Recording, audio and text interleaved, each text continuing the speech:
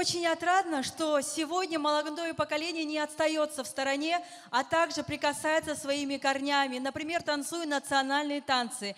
И тому подтверждение наши следующие участники самодеятельного образцового хореографического коллектива «Меридиан» села Рожки Малмышского района, руководитель Татьяна Пенкова.